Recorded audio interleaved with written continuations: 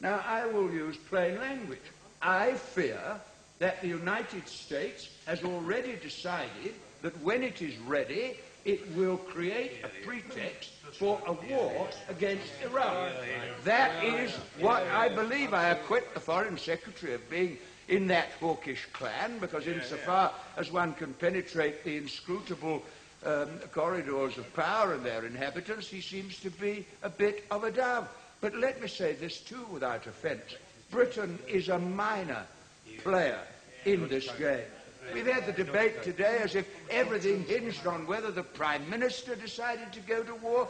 The Prime Minister is a minor player in this unfolding tragedy.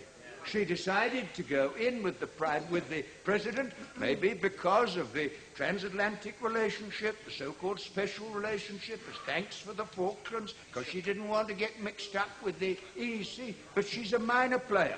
And once she decided, and the cabinet decided, to commit even a notional number of air forces and uh, RAF regiment, and now the troops, she is locked into what President Bush intends to do.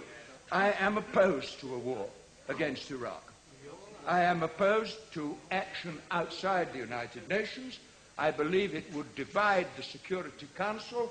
I believe it might not exactly unite the Arab world, but might bring many Arab countries together against us.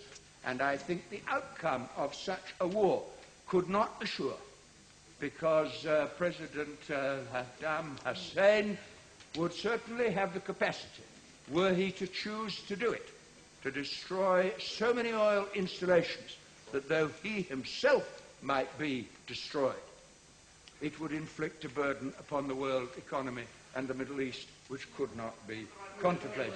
I believe the sanctions will be effective. But I think you have to set this up against what would happen otherwise. I must also say something else to the House without in any way being offensive because governments are not of any colour in any country the main um, um, proponents and uh, practitioners of morality.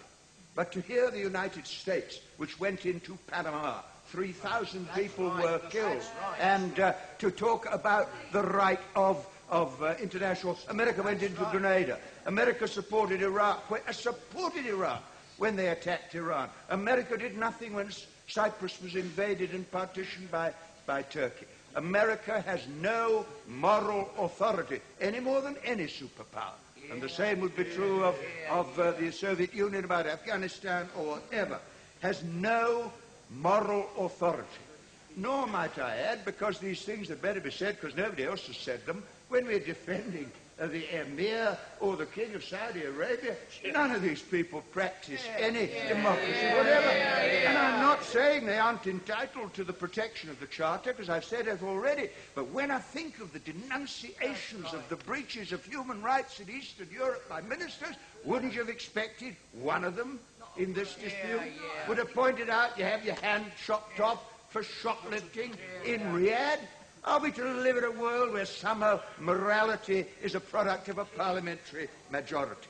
Now, the real issue is this, and everybody knows it, and nobody has mentioned it. The Americans want to protect their oil supplies. I think I'm right in saying not a single member on either side of the House tonight has drawn attention to what the former Attorney General of the United States, Ramsey Clark, said on the radio last night.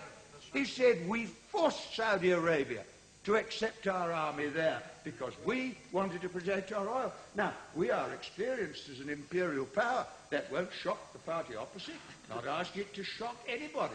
I'm only asking us to recognize a fact when it stares you in the face. Then there is the arms trade. Now, that has been brought out a bit. I was in Algiers a couple of years ago and I met a former Egyptian foreign minister who told me they'd just had a seminar in Cairo about the Crusades. And during the Crusades, European arms manufacturers supplied arms to Richard Coeur de Lion and to Saladin. So nothing really changed. the arms manufacturers have made billions of pounds out of selling instruments of mass destruction, partly to hold down these colonial peoples so that the the sheikhs will supply the cheap oil, and partly because it's highly profitable to sell arms. Now, I ask the House also to consider this. If we're going to war, and there are those who think we, we might, what are our war aims? Not an unreasonable question. Is it to free Kuwait? Is it to topple Hussein? Is it to destroy Iraqi weapons? My right honourable friend, the leader of the opposition, went further, actually, than the Prime Minister in, in setting the objective. Is it to arrest Saddam Hussein and bring him to an international war crimes tribunal? That Prime Minister said that on television. Are you going to send British troops in to fight until you've clarified what it's about?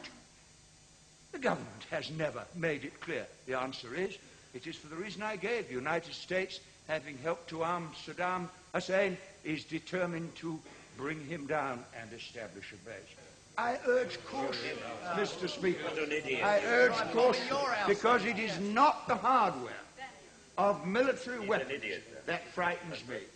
Because a gun can't go off. It is the hatred that makes people want to use them. That is the fuel of war. And in the last month, we've had the most vicious war propaganda pumped down our throat and the temper of peace of which Pandit Nehru used to speak.